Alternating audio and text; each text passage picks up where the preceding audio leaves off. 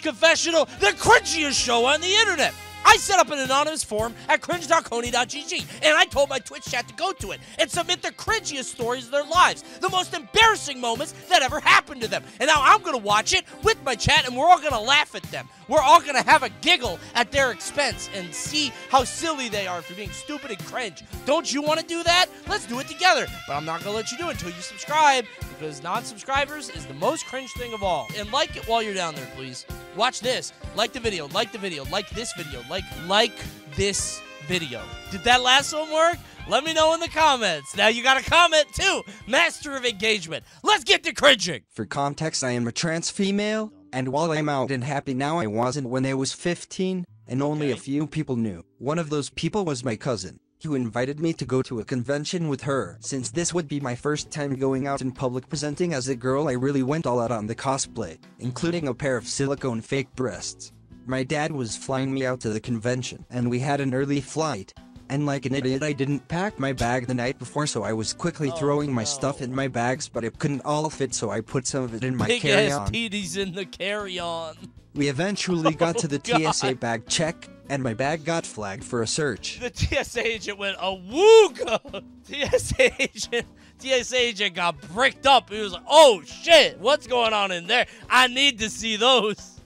Wait. Oh. But right as the worker went to pull something out of my bag, it hit me. Yeah. Silicone can't go through that machine. Oh, So you can imagine the humiliation I felt as this poor TSA worker pulled out two very realistic fake boobs from a 15 year old's backpack at 6 in the morning. okay. Six in the morning is good. There's not a big crowd there at that time. If you did this at like 2 p.m., you can't live that down. They're gonna talk to everybody in that place is gonna talk about it forever.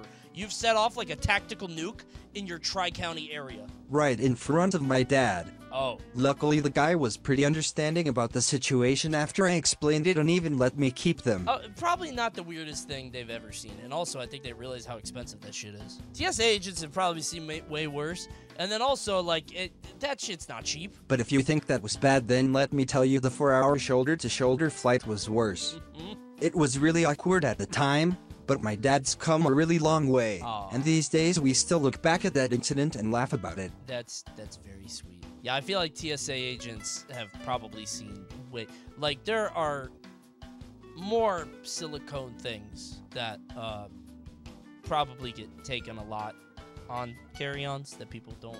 So this was in high school, start of freshman year. Okay.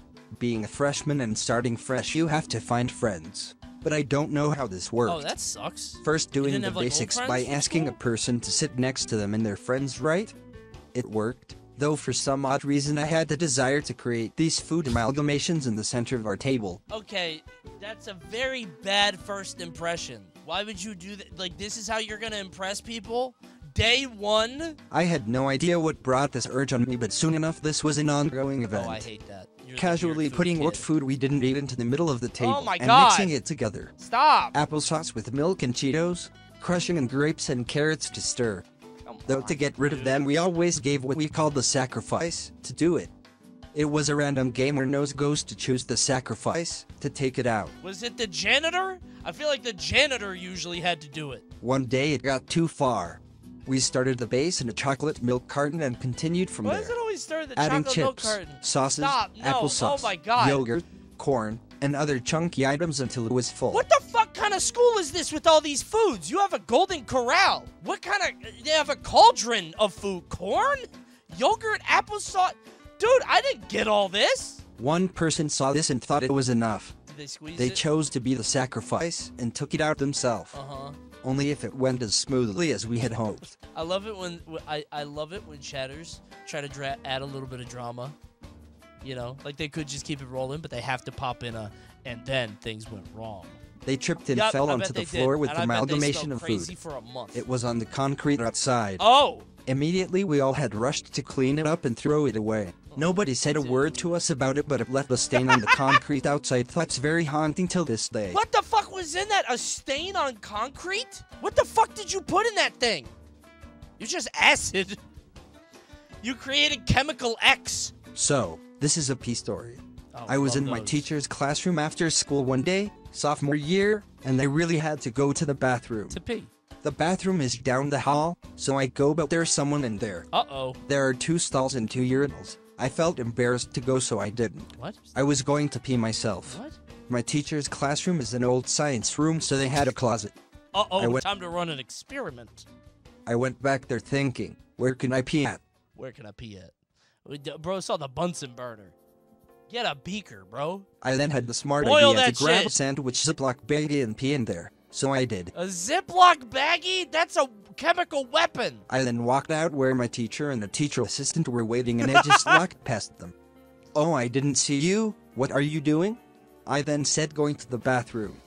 The baggie No of pee way. was in my right pocket No as I way. walked past them. I then went into the bathroom and dumped Okay. the bag into the toilet. Bro, if that guy from the earlier thing was here, uh, he like clapped your leg. Oh, what's good? Welcome back. Just hit you in the in the pocket. Splash! I thought that shit was gonna pop. I was positive that shit was gonna pop, dude. I thought you were gonna pop. My pocket was a little damp, I will say. Oh, stop, stop. No, stop. Okay. Why are you embarrassed to go to the potty? You're about to be an adult and go into the real world. What the fuck is going on there? Go to the potty, bro. I was probably the worst preschooler ever. Oh, yeah? The sandbox was adjacent to the kindergarten bathroom. Oh, it's a pee story. For some reason, there was, was always a bucket of paint in the bathroom on top of a high up shelf. Why? My friend and I would bring chairs into the bathroom, take down the paint, and dump it down the toilet every single day. What the fuck? Why? What a weird, fucked up thing for a kid to do. That's on the staff. How did nobody notice the paint in the toilet? I'd be so fucking mad. The kid could be painting the walls. The kid could be making a much bigger mess, but instead you're causing a very expensive problem. We're gonna have to fix the plumbing. You could just fuck up the walls. One day, a teacher came in and my friend ran away right past her. Every day. The teacher scolded me and I got sent to the principal's office. As a four-year-old. As a four-year-old, by the way. My other friend didn't go because he didn't get caught. this marked the end of my paint dumping pipe destroying endeavors. Okay. Until the next day, that is, and we never got caught again. Oh no, he's back at it again. Bro, move the paint! Put the paint. These teachers are dumb as hell. How do they not solve this mystery of what's going on in the bathroom? When I was 11 years old, my mother took me and my little sisters to this gated community where we celebrated Halloween off. Fuck yeah, where they got the full candy bars? Oh, dude. Halloweening in the rich neighborhoods? My mother had a few friends there, so we were somewhat known to Gated the area. This also happened to be the first Halloween where I didn't pick out a costume due Oh. to my own indecisiveness So and wore normal clothes and a jacket. Oh, fuck you. I'm Dave. My mother and her friends were doing fussy paint for their costumes while I sat in the bathroom with them. I sat pouting with the hood of my jacket on, pretty upset that I wouldn't be able to trick or treat tonight. Okay. One of my mom's friends spoke up and pointed out that in my jacket I looked like a little Unabomber. Being a child, I didn't know who that Your mom's was, friend is and funny as assumed shit. That the Unabomber was some superhero. Yo, the Unabomber! I hadn't heard of. Honestly, dude, I thought that was the coolest name when I was a kid too. I was like, damn, that's tight as hell. I thought that was cool as shit. I jumped at the idea of actually being in costume, so I didn't Yeah, have to be the left out for all the yeah. trick-or-treating that night. So I asked my mother and her friends if I could dress as him. I remember them asking, "Are you sure?" and I was so confident that I said yes without any hesitation. Dude, your mom and your kid, your mom and your mom's friends are so cool. That's sick as hell. Put on some of their fassapint for his mustache above my lips and sent me on my way since I was giddy and they weren't done preparing. That's they let me wander around for a bit with another group of I kids. guess it depends on when this happened, though. If it was in the 90s, probably too soon. If this happened like six years ago, fuck it. It's old news. There was a Spider-Man, a mummy, and the standard Halloween get-ups. And there I was, unknowingly dressed as the notorious terrorist, Ted Kaczynski. A mummy, Spider Man, Chase from Paw Patrol, and Ted Kaczynski, the Unabomber. Each and every time I'd have parents That's so asking me, funny. And what are you dressed as? I was too young to recognize their face contort from anticipated delight to suppressed horror every time I gleefully crushed them with the full weight of the Unabomber. And promptly skipped That away with a few more pieces awesome. of candy. Dude, uh, you know what? I, I kind of I kind of want my kid to go out as something vaguely problematic. Just set her out on the world in a gated community where I don't know anybody. Your daughter's gonna be Tonya, Tonya Harding. You think? We need more female terrorists. I've been saying that. Girls get it done. When I was 11, I managed to lose a fight against myself. What? I would just meander around the house by myself because my mother didn't want my brain to rot just playing go video games all on the a time. walk? So I picked up the hobby of mirror boxing. How big is your house? Mirror boxing is where you practice your boxing form by watching yourself box in the mirror. But I took the anime approach of all fights involving being flung back into the ropes by your punches. Mhm. So, on this day, I was boxing into a couch, and when I would get hit, I would yeet myself into the couch knowing Uh-huh. it would catch me. I launched myself for one final blow. Sure. My collarbone directly into the metal frame of the couch. Oh! I was screaming. My Holy parents found shit, me shaking in fear, and the hour-long trip to the doctor to get it diagnosed was agonizing. Oh. It turns out I split my collarbone in half completely. But hey, at least the other guy went down with me. Oh my fucking god, dude. You split it in half? That's your fucking neck, dude. How does it sit there? Oh god, even just feeling it. I would feel like a Frankenstein. Like my neck would just go, ooh. This is similar to another story someone else shared, but hearing of it rekindled the flame of memory of my own story. Okay, I used to be a very messy child. My room was always a mess, and I was lazy. okay. One day, my dad and two of his friends were cleaning my room while I was mm. off at school because he got Gotta so fed up with how messy self. my room Your was. lazy ass ain't helping. Partway through, though, he found a water gun in the bottom drawer of my dresser, and it was full. Thinking nothing of it, he shot it Uh-huh. at this poor girl, thinking it was a harmless stream of water. Okay. Unfortunately, as you may have guessed by now, it was piss. Okay. In case you're wondering, this has happened on Cringe Confessional before, which means there are two people in the world that have filled up a super soaker with pee. That's surprising to me that two people on the planet would come to that conclusion. Why would anyone do that? Two Coney chatters, true. it's kind of this stream is the common denominator here, I guess. Oh my god. and now, oh my god. here this girl was, old. storming That out of the house festering. screaming, covered in my Oh half-year-old urine. dude, dude, and stop, whatever my dad stop. was Oh going to pay her initially was certainly not enough to account for the emotional scarring she must have gone through. Have you ever peed in a toilet and you forgot to flush, and when you come back, it has like a skin on top, like a like a soup? That shit was coagulating. Oh, When I got home, my room smelt worse than ever before. And I had to get a new mattress. Yeah. As my old one was sitting idly on the floor in the middle of the room, right in pissing distance. my parents never let me have another wear gun until it was in high school. Uh-huh. But thankfully nowadays I learned my lesson and keep my room tidy. that's, um, yeah. I'm gonna be honest. If I was a parent and I found a P super soaker gun, I would have a serious talk and serious reflection. I think on my on what I did to to fuck you up that bad. Uh, you would probably go to boarding school. I would send you to the military. Um, you go on Dr. Phil, and I'd be like, Dr. Phil, you got to sort this kid out. When I was in kindergarten, I went to Disney World in Florida with my grandparents. We were waiting in line for some ride, and I was talking with them about my activities, hobbies, Love and such, activities and as they were understandably curious about what I was doing between being in school. Uh-huh. At this time, I was in Taekwondo. While discussing Taekwondo, I told my grandparents that I could demonstrate Oh, what I learned. Not a I then proceeded to Dale. karate chop the shit out of Donald Duck Hi-ya! Moments after oh taking a picture with him. Why? Dude, if you're in the Donald costume, that is a complete blindside. You can't see anything but right in front of you. Your field of view is like 30. Holy shit. I was not a violent kid and have no idea what Hey, came over Grandma, me watch or this. how I thought it was acceptable behavior. I do recall Donald Duck stepping back and holding onto his stomach, so I may have actually hurt him a little. I've never wished I could do a Donald Duck impression more than this moment. Oh. it's like leaning. Imagine him crumbling. Anyway, what happened to didn't Donald? get in any trouble, So at the time, I don't think I felt any guilt either, Oh, despite okay. ruining some innocent Disney park employee's day. Hey, nobody kicked me out of the park, so I guess that's okay to do. I would have told all my friends. If I was that kid, I'd be like, yeah, you could just punch Donald Duck in the fucking stomach and he won't do anything about it. Total pussy. Only Donald, though. Anybody else will beat that shit. Do not punch Goofy.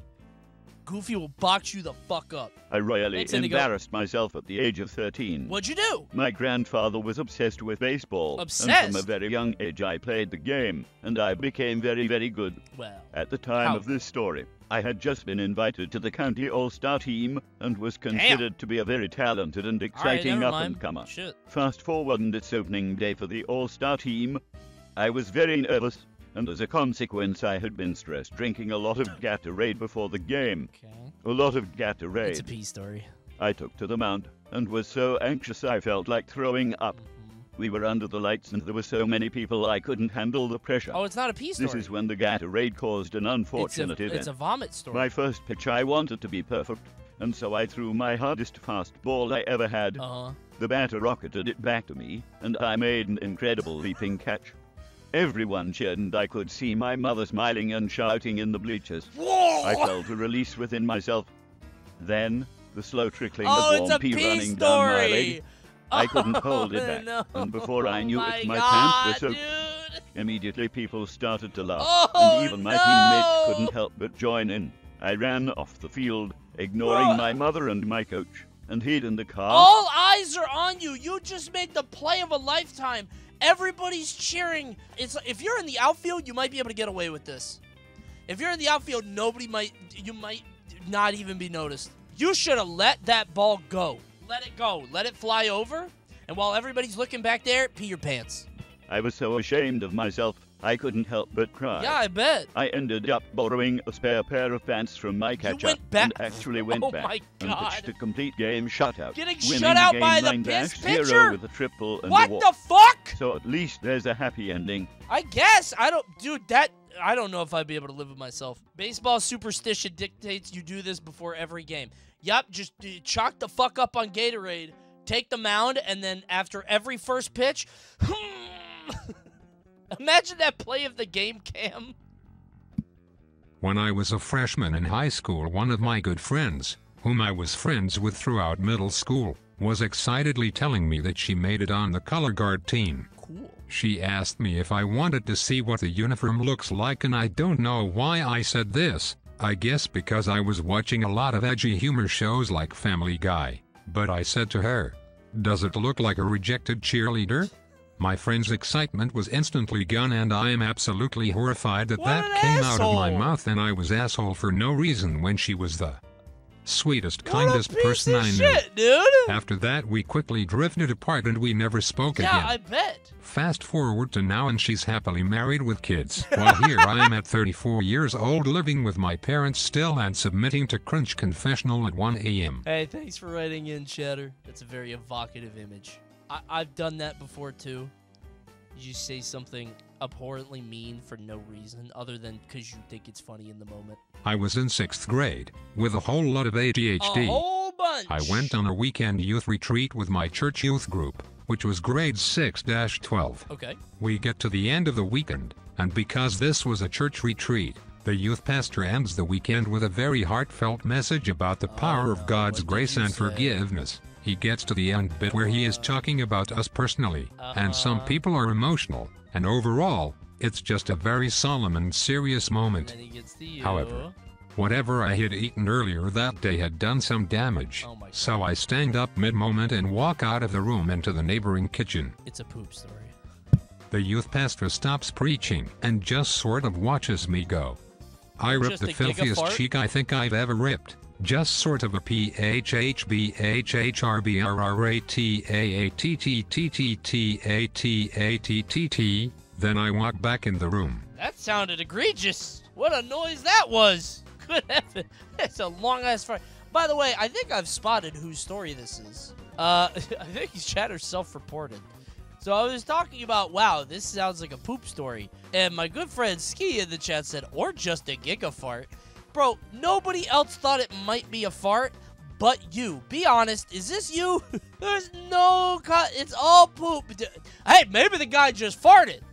I don't think he shit his pants. I bet. I bet he just farted real loud. Let's hear him out. Wait.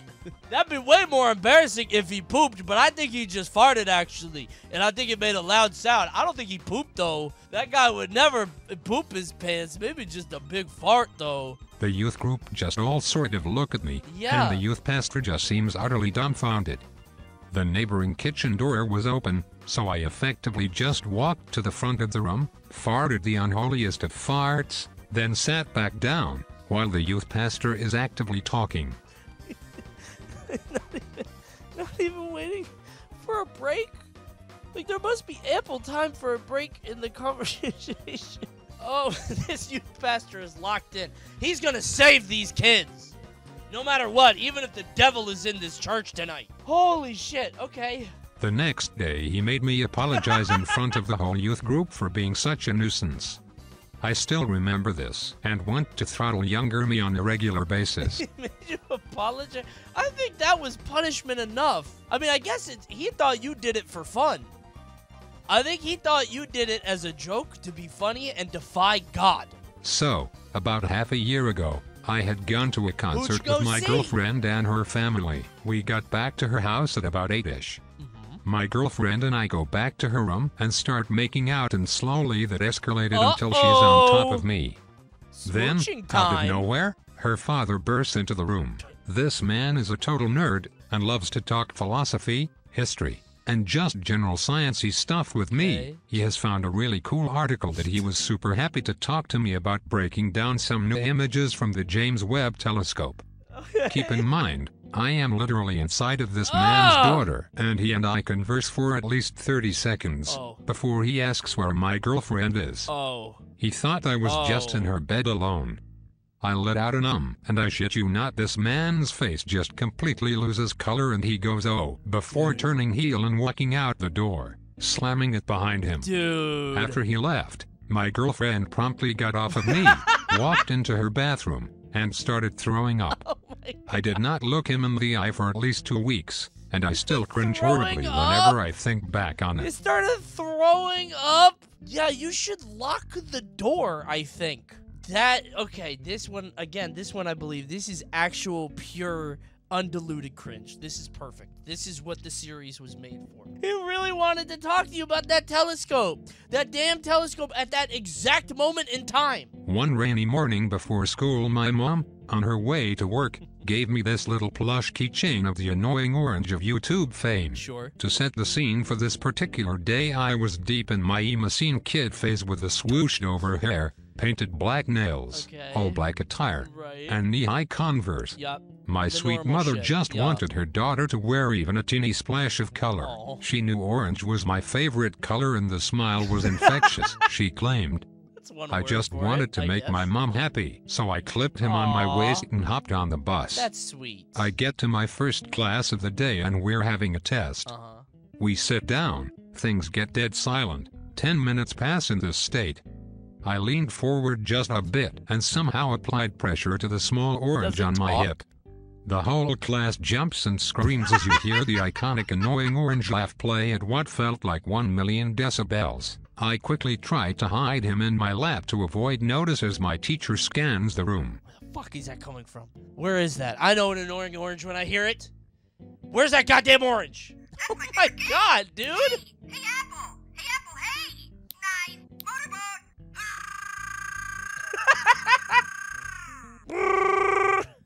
The fuck is that coming from? I pressed him again. Hey Apple, everyone is staring at me. Hey, Apple! I felt like I was living inside an icy hot patch. The shame was consuming Okay, me it was whole. definitely that one. It Not one person one. thought it was funny, nor was I trying to be, and my teacher asked me to get up, bring the gift from my mother to her, and to go sit in the hall to finish my test.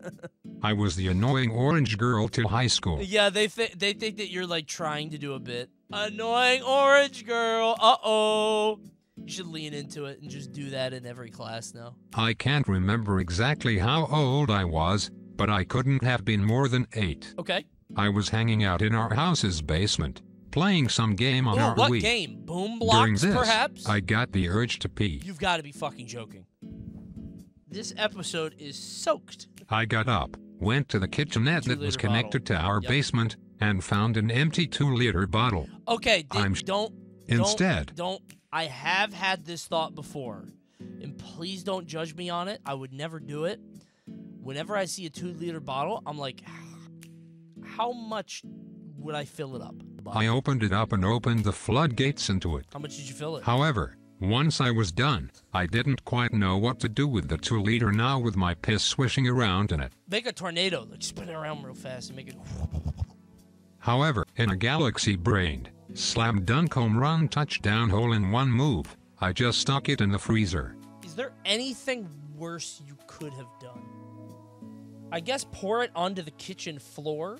I think the list of of worse things you could have done is shorter than the list of normal thing. Like you you really f- fucked this one up. I should note at this point that this freezer is not checked very often at all. Most of our stuff is in the fridge upstairs or the other chest freezer we have. And I thought, hey, that wasn't so bad. Why should I go to the bathroom for a pee ever again? This story was submitted so I kept using the same bottle for months with the same cycle. Open, release, close, freeze, You couldn't get a new bottle. It had to be the same one. until a few months later, Dad found the piss bottle. Oh no! Dad found the piss bottle. He pulled the bottle out and asked, What is this? Not in an accusing tune, just a confused tone. I, of course, knew what the cursed relic was. Make it sound like an item in Isaac.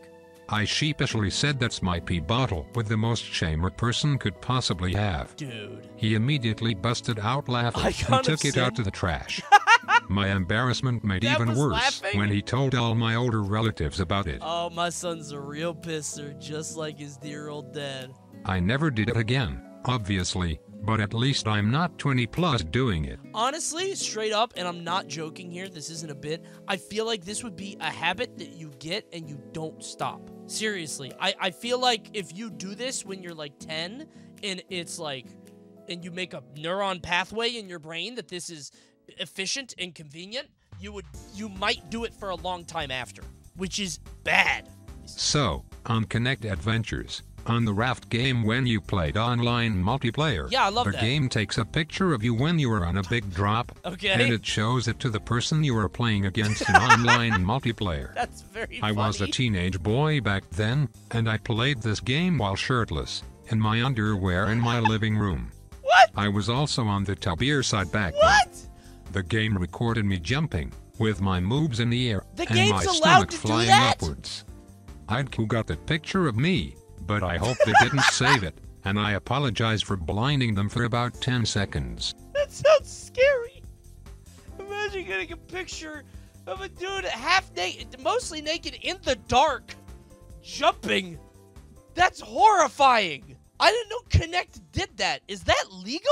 Guys, thanks again for watching Cringe Confessional. Did you like it? What was your favorite? Was it the P one?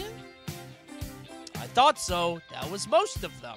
Hey, goodbye, chat. So long. See you next time. Goodbye, YouTube. Thanks for watching. I'll see you soon. Tonight didn't suck. It just had pee. A lot of pee. Not every story, eh, not every video could be like the last one. The last one was generational.